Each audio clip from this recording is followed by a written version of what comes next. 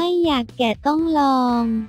กินเม็ดบัวป้องกันมะเร็งชะลอแก่เม็ดบัว lotus seed คือเม็ดที่อยู่ในฝักบัวลักษณะกลมรีเนื้อข้างในสีขาวอมเหลืองรสหวานมันกว้างประมาณเม็ดละ 1 เซนติเมตร สามารถรับประทานได้ทั้งแบบสดและแบบแห้ง สรรพคุณ อุดมไปด้วยวิตามินเอวิตามินซีวิตามินอีเกลือแร่และฟอสฟอรัสมีสาร antioxidant สูงประโยชน์ ช่วยชะลอการเสื่อมของอวัยวะและผิวพรรณป้องกันมะเร็งโดยเฉพาะมะเร็งตับ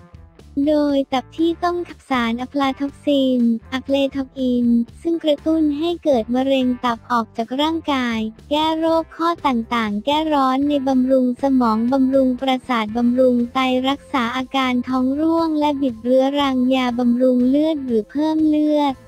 ช่วยบำรุงไตม้ามหัวใจและตับวิธีการรับประทาน ลอกเปลือกออกจากเมล็ด โดยไม่ดึงเยื่อหุ้มเมล็ดและดีบัวออก รับประทานสดสดๆทั้งเมล็ดจะทำให้ร่างกายได้รับวิตามินแร่ธาตุและสารต้านมะเร็งการเลือกซื้อเม็ดบัว